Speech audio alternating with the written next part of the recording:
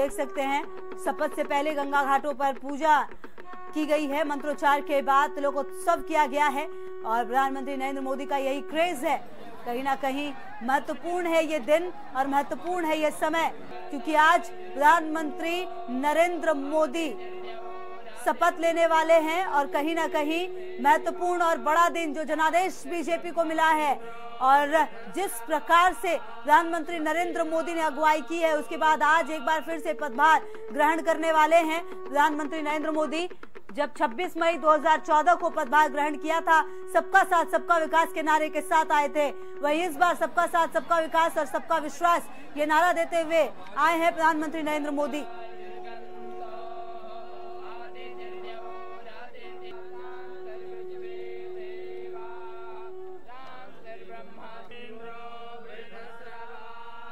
आज का दिन बहुत बड़ा है और इसी खबर पर ज़्यादा जानकारी के लिए न्यूज़ रूम से हमारे साथ पुष्कर चौहान जुड़ गए हमारे संवाददाता और दिल्ली से हमारे सहयोगी अवैस उस्मानी भी जुड़े हुए हैं। सबसे पहले अवैस, आपका रुख करना चाहूँगी। प्रधानमंत्री नरेंद्र मोदी का जो सुबह का कार्यक्रम था, वो तो हमने देख लिया है। राजघाट गए, फिर अटल बिहारी वाजपेयी के समाधि स्थल पर गए, वॉर मेमोरियल हॉल गए। अभी क्या कुछ कार्यक्रम है और क्या विदेशी मेहमानों के जो आने का सिलसिला है, वो लगातार चल रहा है? जी, बिल्कुल, अभी जी, बिल्कुल। अभी अगर मैं ताज़ा अपडेट की बात करूँ तो राष्ट्रपति भवन के अंदर राष्ट्रपति ने कार्यक्रम जहाँ पे होना है, उस स्थल का दौरा किया और तैयारियों का जायज़ा अभी राष्ट्रपति भवन में राष्ट्रपति रामनाथ कोविंद ने लिया और देखा कि किस तरह की तैयारियाँ हो, रही हैं क्या तैयारियाँ किस स्टेज तक पहुँचे और कितनी देर में पूरी हो जाएँगी।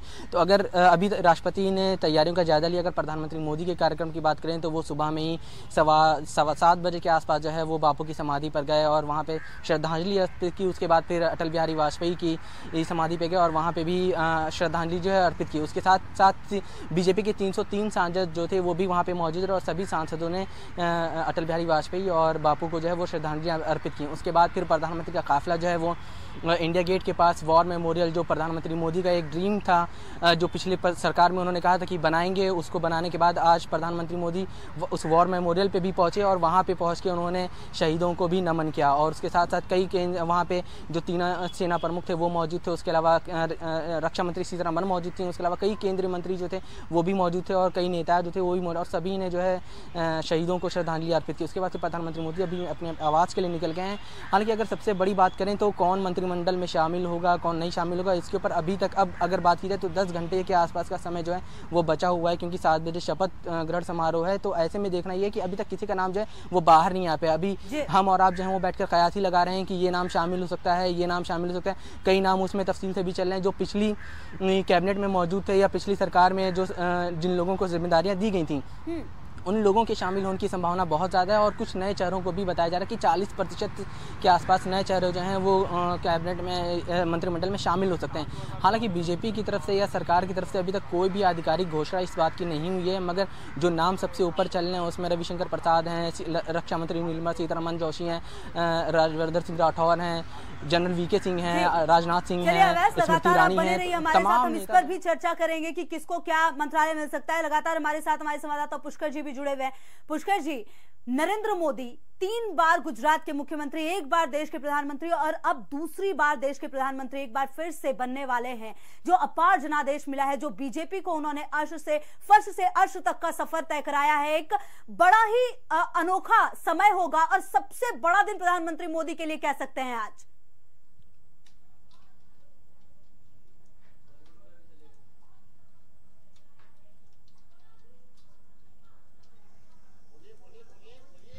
देखिए, खुशबू मैं आपको बता दूँ कि प्रधानमंत्री नरेंद्र मोदी आज दूसरी बार जब शपथ लेंगे शाम सात बजे राष्ट्रपति भवन में, तब एक ये बड़ा ऐतिहासिक दिन होगा। करीबन आठ हज़ार मेहमान मौजूद होंगे वहाँ पर और बिम्स्टेक देश के नेशंस के प्रमुख आएँगे। लेकिन आप जो सबसे बड़ी बात कह रही हैं कि उन्होंने अर्श से फर्श का फर्श से अर्श का सफ़र तय किया ये हकीकत है।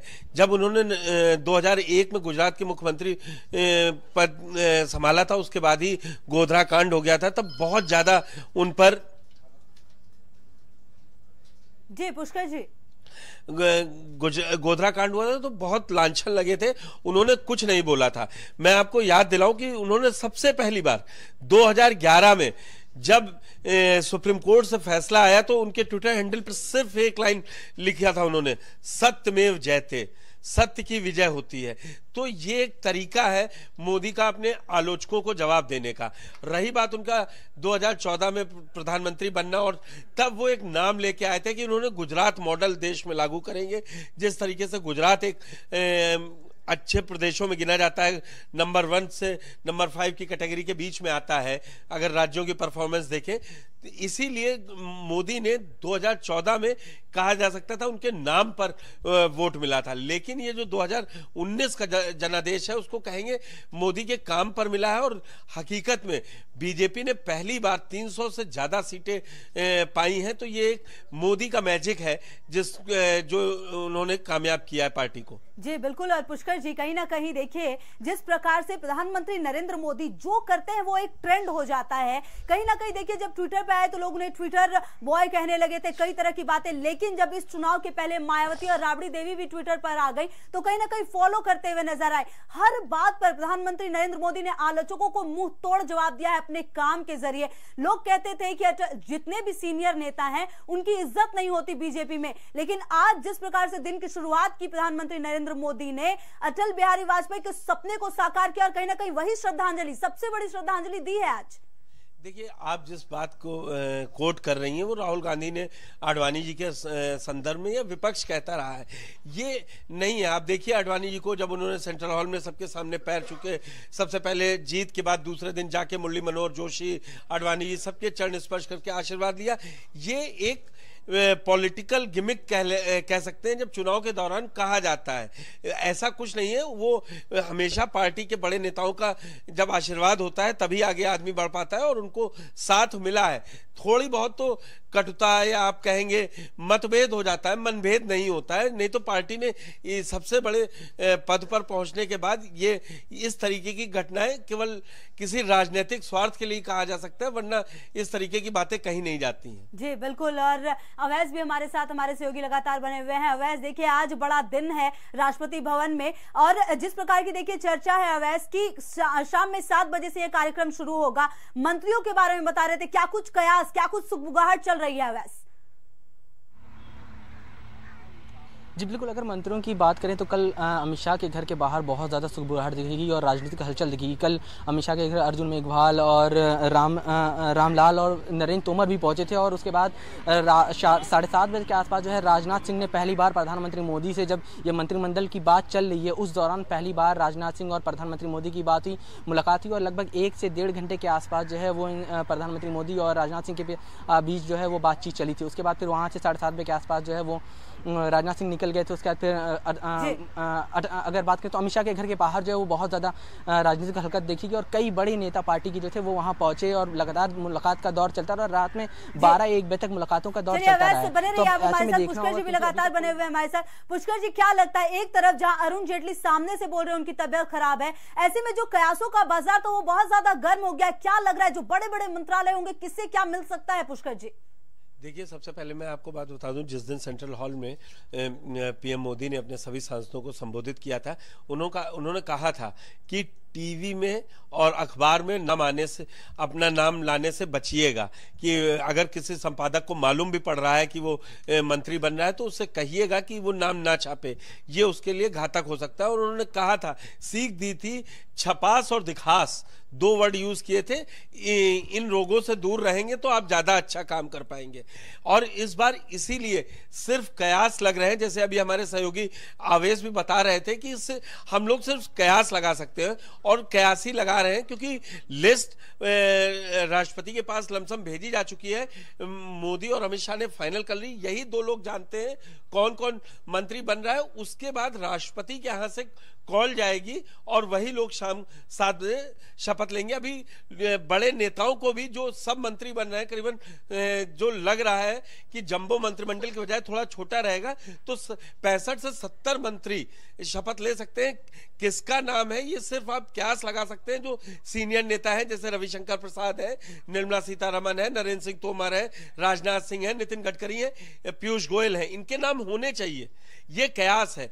लेकिन हकीकत ये है कि किसको शामिल कर रहे हैं किसको नहीं शामिल कर रहे हैं ये खुलासा शाम सात बजे ही क्लियरिटी मिल पाएगी। हाँ जिस तरीके की बात आ रही है शिवसेना से अरविंद सावंत का नाम सबसे आगे चल रहा है।